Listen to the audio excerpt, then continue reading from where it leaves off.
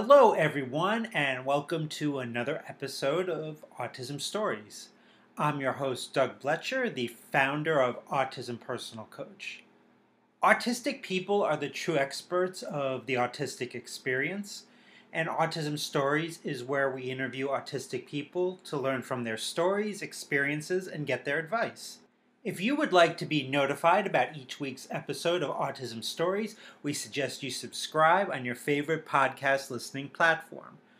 We would also appreciate it if you could give us a positive rating and review, as it will help others to learn about autism stories. I'm excited to announce our first two podcasts that will be part of Stimmy Vibrations, a day to celebrate autistic voices on April 2nd. The first podcast comes from Nira Birch, the I'm Not Drunk, I'm Autistic podcast. And the second is from Maisie Soetantyo from Autism Career Pathways. Nira will be pondering the true meaning of Autism Acceptance Day and will discuss strategies for decompression after meltdowns in her podcast. And Maisie will discuss special interests as a career foundation a link to learn more about Stimmy vibrations and to register so you aren't missing out on this day to celebrate autistic voices can be found in the podcast description of this episode. On today's episode of Autism Stories, I will talk with Mary Nixon Hahn. Mary talks with me about being an autistic woman in the U.S. military, her experiences of working in customer service, and authoring a book on creating inclusive employment. We hope you enjoyed today's conversation. Mary, thanks so much for joining us today. Thank you. It's a privilege and a pleasure to be here. Wanted to start out and learn where does your story in the autistic community begin? My story starts, I guess, after the military. I joined the military because I was kind of a loner and uh, an only girl, and I was raised with brothers. So I went through school playing a lot of sports and just not really like a part of anything. So I went to the military and jumped out of airplanes and spent my time attempting to learn different things. I just was feeling like there was nowhere I could really turn. I didn't feel really qualified to go to college because I wasn't really a great student. So I went to the military, and that's uh, where my story begins. And I owe a lot of that to my father, who served before my time. So I kind of went in because it was in our family tree. So. Now I'm, I think I'm pretty scared of heights. So when you said you were jumping out of airplanes, uh, that really struck me. Can you tell me about that experience? For those that think uh, jumping out of a perfectly good airplane is something that is widely known, I strongly disagree because a lot of times when you're training to jump out of airplanes for the military, usually the reservists flying the airplane. So it's not always the uh, most steady opportunity as far as I was concerned. So, yeah, there is that. now, you mentioned you were in the military. Um, from my understanding, um, you were in the military um, prior to um, learning you are autistic. Look, look, looking back, what were challenges for you as an autistic woman um, in the military? For me, and 90% of it was being able to communicate. I didn't always necessarily have the answer that they wanted or was looking for. I usually was pretty much off topic, and unless they considered, considered anything athletic like running or something like that, I was a little lost. I was, however, pretty good with shooting and stuff like that because that's how I was raised with my family shooting weapons or guns and stuff was not an issue, but when it came to kind of common sense stuff, I, I was not way off topic. and so for me, it was a little bit challenging because I didn't always understand what they wanted. And usually I was the brunt of a lot of jokes. So, were you involved in much combat in your time in the military? Actually, I was stationed on a flight zone 1988. I was stationed at Fort Bragg, and that was the year that Noriega was going crazy in Panama. So we were on a flight zone. I was with an air defense artillery unit, so I refueled generators and I was a mechanic. When we finally got to go home, we realized that we were the next one to be called up. So I can safely say that's the reason I don't drink Mountain Dew anymore. And um, so, if there are autistic women or men, for that matter, listening uh, to this interview, and maybe they have some um, interest in joining the military, what would be your advice to them? I think since I've done some research and did some different uh, compared to when I was in to where I where they are now, unfortunately, they're they're not allowing people with a designation of autism in the military. That's kind of disheartening for me because I look at my three sons who are on the spectrum, and probably two out of three of them can join.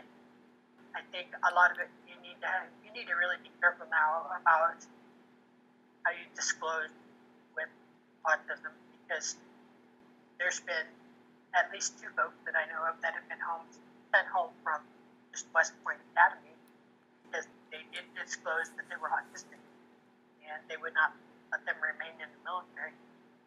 For me, that's a huge issue because just looking at two of my sons, they have the utmost capability to provide anything the military would need as long as they had a, a job code for them. So a lot of it is being cautious about how you disclose it. When I went in, I didn't have to disclose it. Like you said before, I didn't find out until after I came back from the military that I was autistic. So I think this day and age, everybody's so into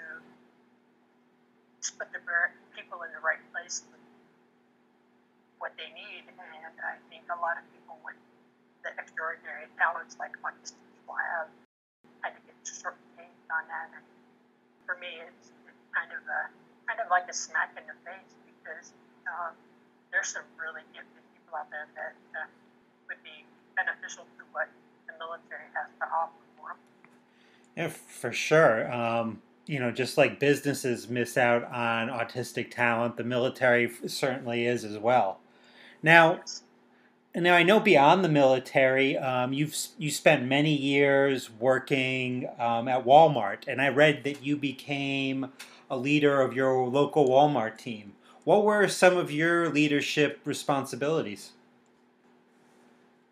You know, spent over 20 years in retail. I actually uh, wrote a couple books about it. A lot of it is you know, autistic people need to be taught routines and stuff. And so for me, it was just trying to find where I fit in. And so I had to set goals. And now, three years ago, I, uh, I achieved my goal of being a customer service supervisor and was able to a negative situation for so many years, turning it into a positive situation.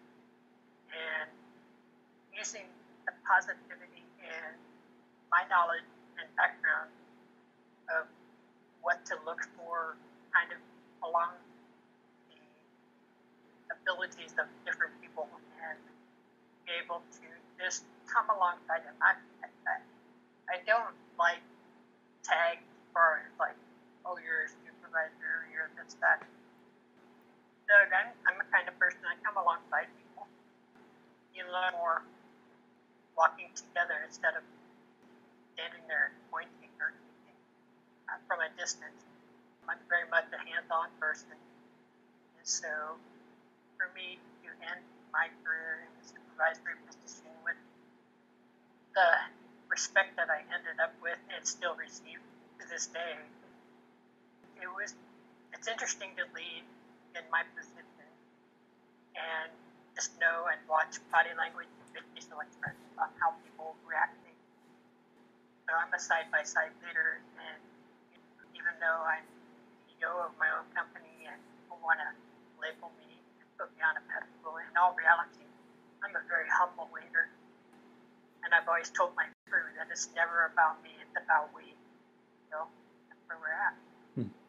Now, during your time at Walmart, you gave uh, an important presentation um, in regards to neurodiversity at the workplace. Uh, you know, I guess the first thing I'm interested in is how many people um, work, work employees at Walmart got to see this presentation, and what was your message regarding supporting neurodivergent people um, working in at Walmart or in the workplace? I had the privilege about six years ago to kind of live out something my dad had taught me when I was a kid. Teach people how you wanted to be treated. So I got to present to Walmart on four different WebExes. It was a regional presentation. Management at Walmart required to do once a month a diversity training. So I was fortunate enough to have a manager within my group that knew that I was autistic and asked me to see what I could do to come up with a presentation. So uh, I basically came up with 13 different points that they could use to not only interview, but how to gain the attention and relationship with folks that are, are differently abled or unique, however you want to put it. And so on four different WebEx. I had 2,700 people total. States and received multiple emails back. They were impressed and that they wanted to know more. And so at that point, I had actually written a ebook that they could purchase, and so I got to share that way. And then for me, it opened a whole bunch of new doors for that, and it really changed my focus on how I looked at my management as well. So 2,700 people, I never even dreamed that. And so, yeah, it's been fun. And reach back out with those emails and the people just, they, it's out there, but people want people like myself to tell them, how can I help you? So you're talking about the biggest retail company in the world, and so to get the response that I did was really amazing. So hmm. yeah, I was really, really, I was really excited about that because after that, I think people started looking a little deeper and a little differently at how they could put me in, in a spot to help others within the company. Now, you, you mentioned uh, about an ebook, um, and I believe you've written two books on the subject of autistic people in the workplace. For those that might be interested in learning more about these books um, and, and possibly purchasing them, how can they go about doing so? And the title of my book is From the Inside Out, and then I did a strategy guide from there. And if you go to Amazon, and they can find it there. The first book will come up automatically, and then I have know my second book will follow underneath of it, so both of them are there. I believe one fourteen ninety five and the other one twenty ninety five. And if you get them from me personally, I actually will autograph them and send them to you free of charge. So for the set of them, I, I personally, for me, if I send them to you, I only charge thirty dollars for both books, and I don't charge you for the shipping just because I appreciate the uh, gesture. Now, a common saying in the autistic community is when you've met one person that's autistic, you've met one person that's autistic. But all autistic people have things in common. So, you know, I thought you might be a really good person to talk about this, not just because you're autistic, but because you have three children that are autistic as well. I'm wondering what has your experience as an autistic parent to autistic children taught you about diversity of the autistic experience?